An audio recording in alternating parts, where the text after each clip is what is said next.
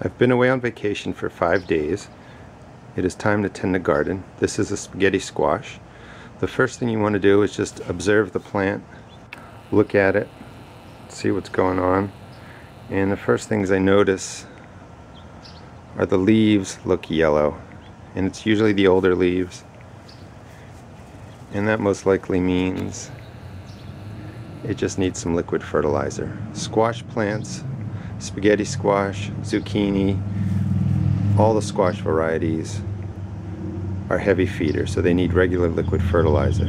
The next thing I want to do is start looking through the leaves for signs of bugs. And right now is the time when the squash bug lays its eggs. You can see a set of eggs right there.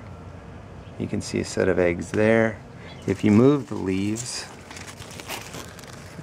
you'll find more. There's one, two clusters, three clusters.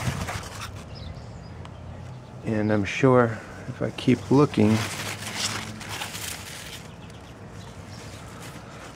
I'll find more. So this plant needs fertilizer. You can see the yellowing leaves.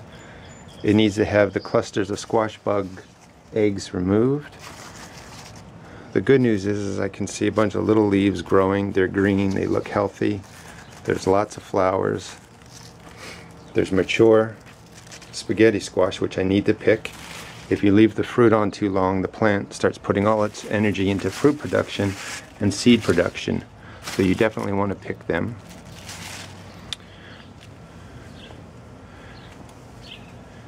And one last look.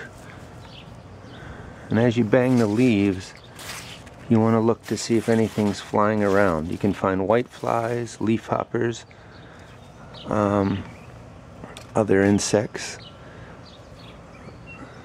Way back there you can see another cluster of squash bug eggs.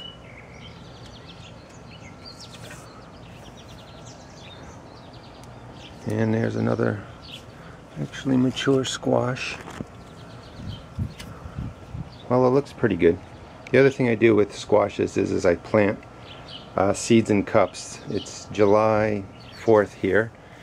This squash will probably go for a couple more weeks. In a cup I'll have another spaghetti squash growing. When this gets beat up and just worn out I'll pull out the vine and I'll put in a new plant and it should grow through September. Most important thing is look for the squash bug eggs. And if you see one cluster, there's going to be more and you need to check your zucchini, squashes, sometimes cucumbers, but you have to check them all.